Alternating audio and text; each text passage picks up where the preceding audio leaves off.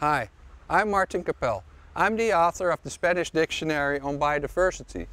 This is the first dictionary in Spanish that deals with biodiversity in the world. It has been published by Editorial INBio of Costa Rica, together with uh, funding from the Netherlands government, the Spanish government, as well as the Nature Conservancy. It has about 6,000 terms of biodiversity, plants, animals, and all other kinds of organisms, as well as uh, a thousand illustrations or images full color that really illustrate the book nicely.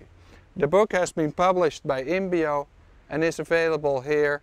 And the goal has been to uh, make sure we have a book that can help uh, raise awareness among people about the importance of biodiversity.